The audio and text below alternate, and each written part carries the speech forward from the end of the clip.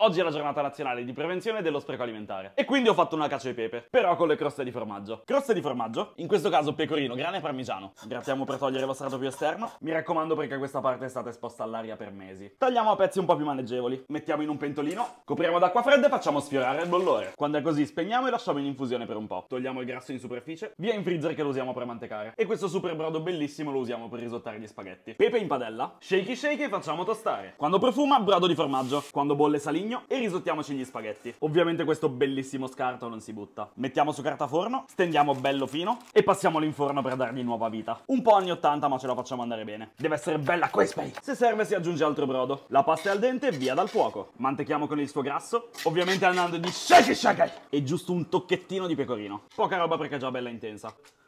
Io direi creamy. Mettiamo in un piatto la sua sauce, pizzico di pepigno e chiudiamo con le croste croccanti.